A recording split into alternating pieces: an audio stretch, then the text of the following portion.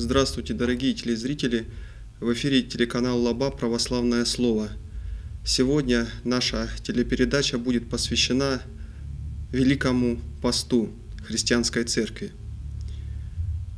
Когда человек отправляется в путь, в путешествие, то каждый, наверное, ставит перед собой цель своего путешествия.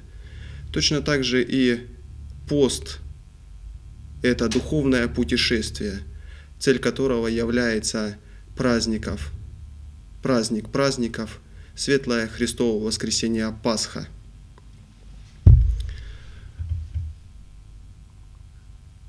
Новое духовное откровение, которое Господь дал каждому человеку.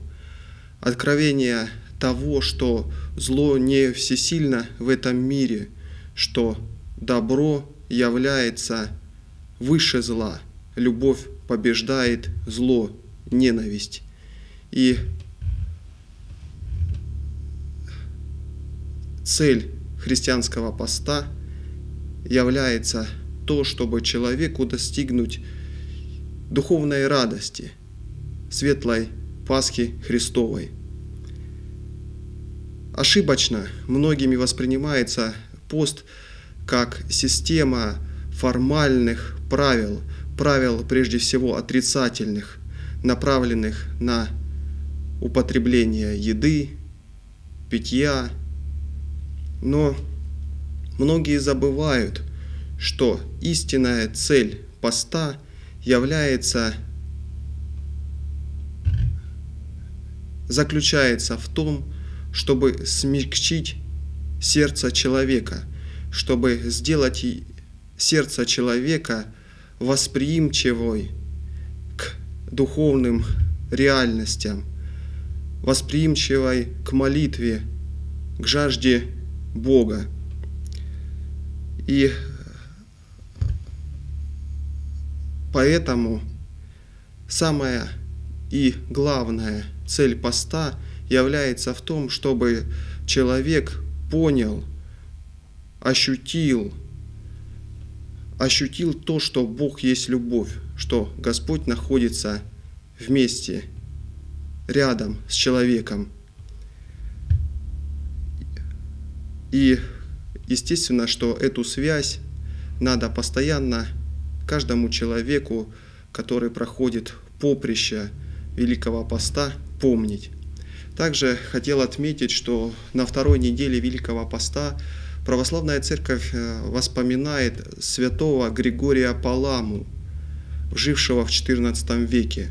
Святой Григорий Палама был выразителем особого христианского учения о нетварном фаворском свете, о том свете, которым просиял Господь наш Иисус Христос на горе Фавор.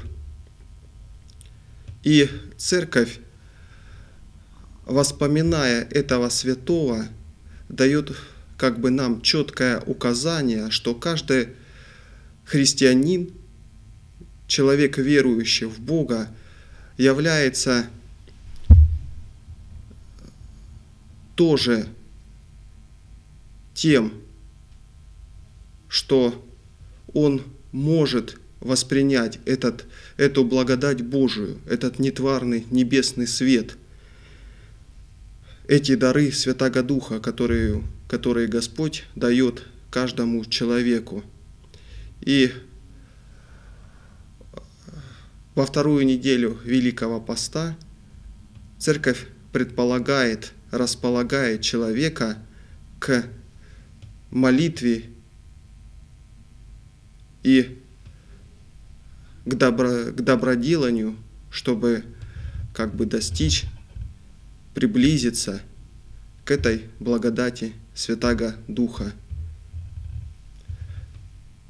И в завершение нашей телепередачи я бы хотел сказать такое слово, обращаясь к каждому нашему телезрителю, что прежде всего, дорогие мои, мы должны помнить, что христианский пост состоит не в отказе от пищи, в отказе от какого-то